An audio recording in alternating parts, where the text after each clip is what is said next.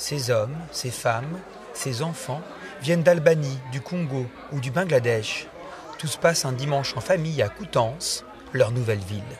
Pourquoi on a choisi Coutances?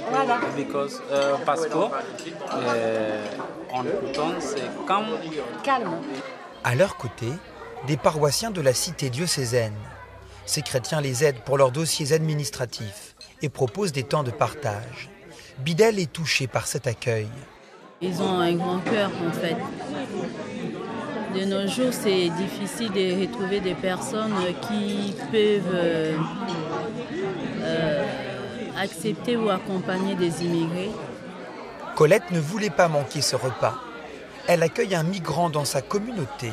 Si on entre en relation avec euh, la personne, on rencontre une personne et non pas un étranger. Cet instant d'échange s'inscrit dans la journée mondiale du migrant et du réfugié instituée par l'Église catholique. C'est un moment important aussi parce que peut-être pour la première fois, le pape François a voulu que ce soit extrêmement concret, très proche des réalités.